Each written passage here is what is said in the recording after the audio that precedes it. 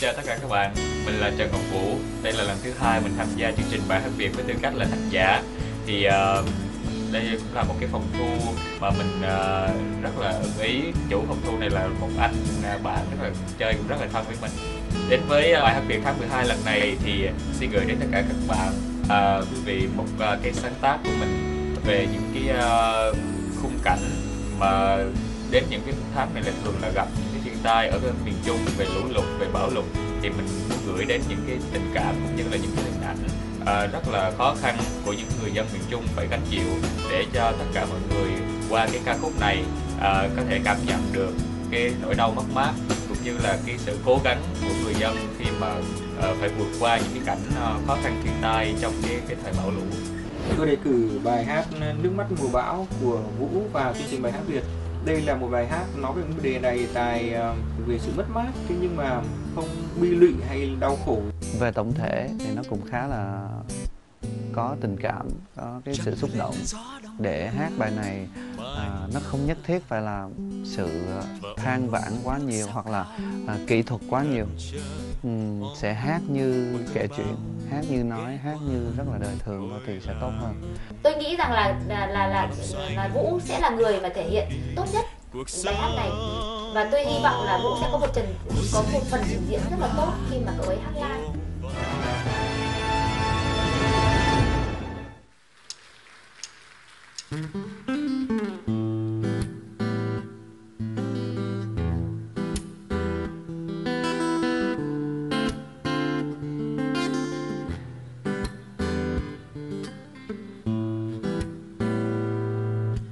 Chẳng mới lên làn gió đông đưa mái nhà.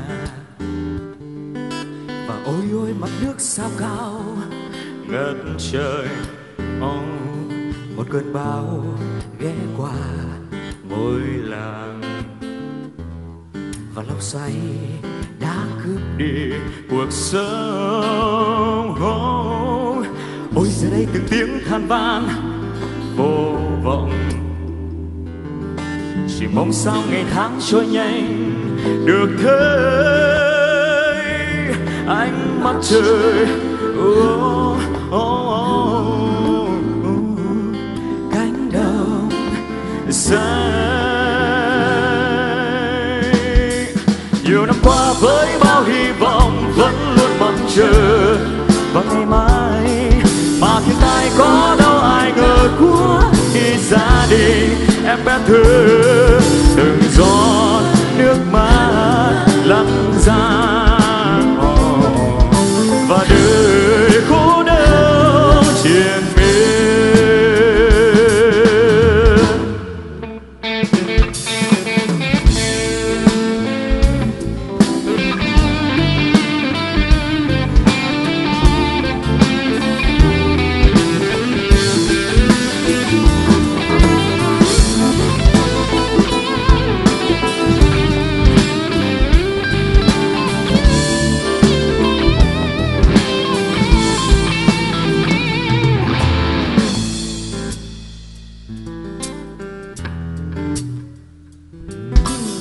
Ôi giờ đây từng tiếng than van vô vọng.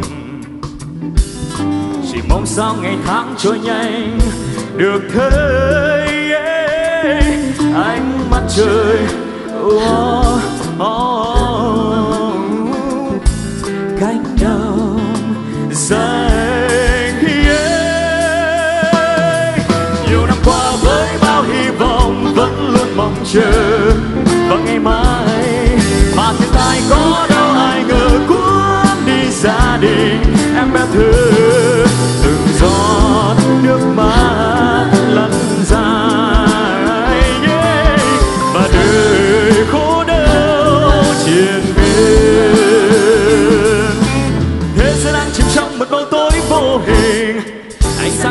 giờ nơi đâu?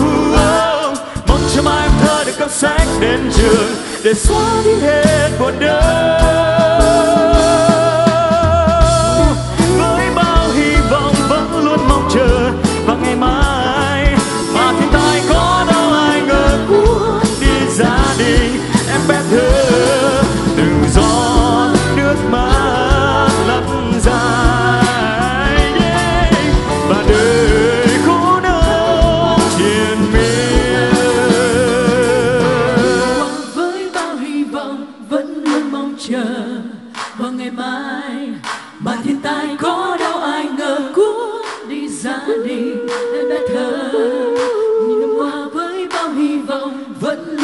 Chờ vào ngày mai mà thiên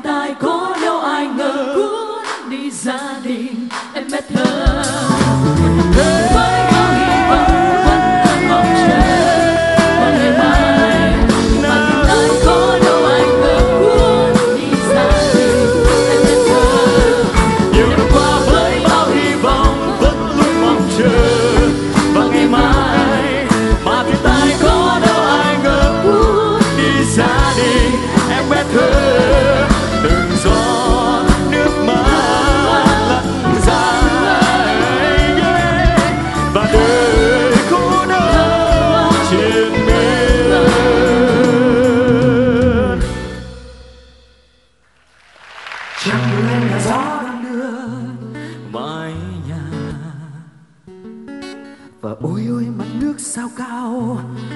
Ngất trời.